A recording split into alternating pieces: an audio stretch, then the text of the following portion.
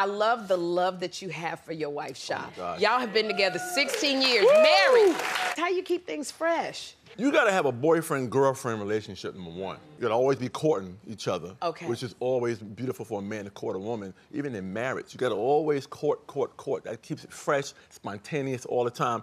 And, and you both gotta be freaks a little bit. So Oh, you gotta be for each other, you know what I'm saying? Freaks So- for each other, Yeah, yes. yeah. So, you know, what? it's the little things you don't even think about. Like a bra and panty set that match. You know what I mean? yeah. Is that when we start getting complacent, JB? That's when you get lazy. you got a zebra print bra and a leopard print panty on. You're like, hey, come on now. You know damn well you can't have a zebra that close to a damn leopard. You know damn well. They ain't even hanging in the same group. That leopard will maul that damn zebra. Gotta- we do get complacent. We gotta have magic how embarrassing that is when the, when, the, when the ambulance show up? Like, what happened here? Hey, man, that leopard tore that zebra ass up.